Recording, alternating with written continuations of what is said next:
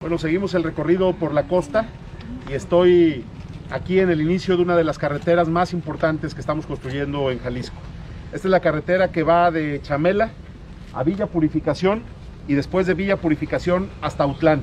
Es decir, es una de las dos carreteras que estamos haciendo para unir la Sierra de Jalisco con la costa. Esta obra ya se terminó al 100% en el tramo Chamela Villa Purificación. Aquí se invirtieron 84.7 millones de pesos y está totalmente nueva la carretera. Y de Villa Purificación a Autlán vamos al 65% ya y en 15 días vamos a ir a hacer el recorrido, yo diría casi histórico, en el cual vamos a unir los dos tramos, el que viene de Autlán y el que viene de Villa de Purificación, arriba en la montaña. Entonces, hoy estamos entregando ya totalmente eh, terminada la carretera Melaque Villa Purificación. Me da mucho gusto que me acompañe el presidente municipal, nuestra diputada Irma también.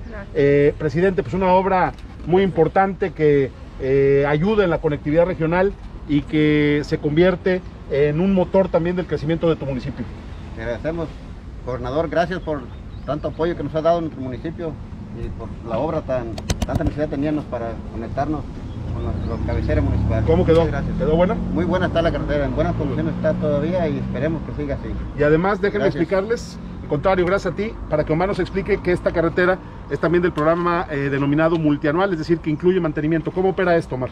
Sí, esta es una carretera multianual en donde se rehabilitó los 66 kilómetros en, el- en el año pasado y va a estar en constante mantenimiento hasta septiembre del 2024, es decir, al final de la administración. Para que como la dejamos, quede todo el Quede tiempo. todo el tiempo, pues sí, sí. Bueno, esta entonces es una de las dos carreteras que van a unir la sierra con la costa. Esta que es Chamela, Villa Purificación, Autlán. Y la otra que ya está prácticamente terminada. Miren nomás, vamos ya al 98%, la carretera Talpa, Llano Grande, Tomatlán.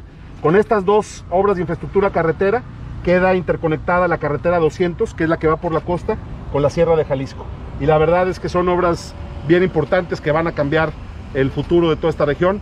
Y pues me da mucho gusto hoy que la podamos, aunque sea sin gente y sin actos así este, estruendosos, pero en un acto sencillo, inaugurarla, entregarla.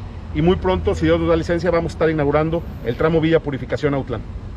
Hoy se está entregando este mercado totalmente equipado, pero más que el mercado, lo que se está entregando es eh, la posibilidad de acceder a una de las playas más hermosas de la costa alegre de Jalisco. Este paso es decisivo para poner el ejemplo. Hoy aquí se puso el ejemplo.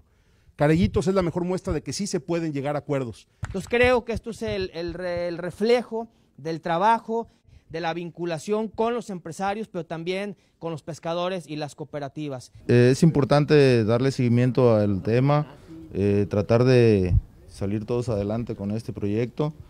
Qué importante que estén aquí todos, qué bueno, que le echemos ganas todos juntos y pues a darle para adelante, ¿no? es precisamente la muestra de que queremos que este proyecto dure mucho tiempo y que siga siendo ejemplo para toda la costa de nuestro estado.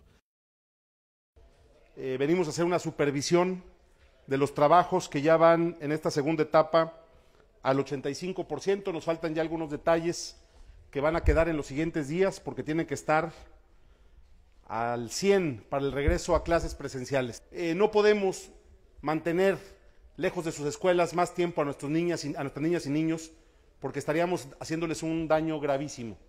Por eso ya tenemos que avanzar y el recorrido que estamos haciendo nos ha servido también para ver qué cosas nos hacen falta, eh, la cual nosotros agradecemos enormemente, tanto maestros, padres de familia, alumnos también, eh, por las instalaciones que nos está brindando para los niños y niños de, de Jalisco.